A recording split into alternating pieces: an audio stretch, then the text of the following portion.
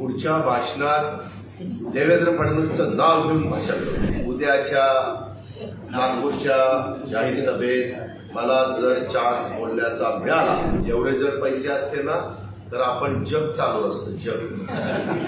जगाचं अर्थकारण चालवलं असतं. का चौकशी करणाऱ्या यंत्रणा त्यांच्या त्यांच्या परीनं काम करतात. आम्हा लोकांच्या अनेकांच्या चौकशा त्या ठिकाणी झाल्या काहींच्या चालू आहेत. त्यामध्ये आपण नागरिक म्हणून त्या यंत्रणेला उत्तरं देणं किंवा सहकार्य करणं हे प्रत्येकाचं काम असतं. त्यामध्ये वेगळ्या अँगलनी बघायचं म्हटलं तर वेगवेगळे फाटे फुटू शकतात. आपण मीडियामध्ये काम करणारे मान्यवर आहात. आपणच या संदर्भातला विचार त्या ठिकाणी केला पाहिजे. दादा कालच्या सभेमध्ये आपण आता उद्धव उद्धव ठाकरे असतील दोघांच्याही भाषणामध्ये प्रामुख्याने नरेंद्र मोदी आणि अमित शहा टार्गेट असल्याचं पाहायला मिळालं. मात्र फडणवीसांच्या संदर्भात आपलं एक जे मौन होतं त्याच्यामध्ये कुठेतरी सॉफ्ट कॉर्नर आहे असं एक चर्चा करतो पुढच्या भाषणात देवेंद्र फडणवीसचं नाव घेऊन भाषण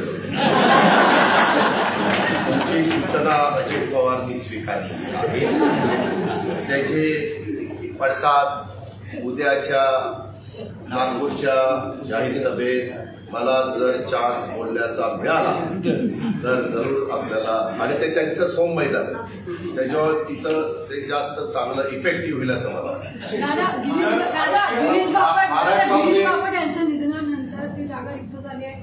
भाजपामधनं चर्चा सुरू झाली आहे. कोण उभं राहणार? अं, या पोटनिवडणुकीकडे कसं बघताय? म्हणजे महाविकास आघाडीची भूमिका महाविकास आघाडीची भूमिका जसं मध्ये दोन तीन जागांच्या निवडणुका तीन नाही पाच जागांच्या निवडणुका झाल्या. पंढरपूर कोल्हापूर मुंबई कसबा आणि चिंचवड. तशा प्रकारे ह्याही जागेच्या निवडणुकीच्या संदर्भामध्ये महाविकास आघाडीचे नेतेगण एकत्र बसतील आणि त्याबद्दलचा निर्णय घेतील. आणि एकोप्याने ती जागा लढवण्याच्या संदर्भामध्ये पुढच्या गोष्टी ठरवतील. पण माझी विनंती आहे आत्ताच या गोष्टीची चर्चा कृपा करून करू नका. आजच मला चंद्रकांत दादा पाटलांचा फोन आलेला होता की अजित पवार सात तारखेला श्रद्धांजलीची सभा त्यांची यांची घेतलेली आहे. बापटसाहेबांची गडकरी साहेब येणार आहेत. सगळ्या राजकीय पक्षाच्या प्रमुखांनी तिथे यावं. माझ्या माहितीप्रमाणे त्यांचं आणि जयंत पाटलांचं पण बोलणं झालं. जयंतराव त्यांना काहीतरी म्हणाले मी सांगलीला असण्याची शक्यता आहे. कारण त्यांनीच मला सांगितलं. अं, चंद्रकांत दादांनी असं आमचं बोलणं झालं. ते म्हणाले की अजित तू तरी किंवा जयंतराव तरी त्याला हजर राहावं. तर आम्ही दोघं विचार करून दोघांपैकी एक जण निश्चित तिथं हजर राहू. आणि आज आम्ही म्हणजे मला तर पहिला राग एवढा आला की आम्ही त्यांना भेटायला गेलो. माझ्या मला वाटतं दुसऱ्या दिवशी जयंतराव गेले. अस्थि विसर्जन तेव्हापर्यंत झालेलं होतं. मी ज्या दिवशी अंत्यविधी झाला त्या दिवशी जाऊ शकलो नाही. दुसऱ्या दिवशी माझा कुठेतरी कार्यक्रम होता म्हणून तिसऱ्या दिवशी गेलो. अस्थि विसर्जन झालेलं नव्हतं. काय आपण काय तर त्या निवडणुकीपासून निवडणूक नाही लागली तर जीव चाललेत काहीचे. काय जनाची नाही मनाची माणुसकीची काय सगळंच कुठं सोडलं का? तुमच्या आमच्या घरामध्ये जर अशा प्रकारची दुःखद घटना घडली तर माणूस तेरा चौदा दिवस गप्प बसतो. महिनाभर गप्प बसलं म्हणून बिघडलं कुठं? सारखं कोण कुठं काय करणार? कोण उमेदवार देणार? कोण काय करणार? कोण आताच भावी खासदार म्हणून तिथं पोस्टर लावायला लागलं? अरे कुठं गुडघ्याला माणसे बांधून निघायला लागले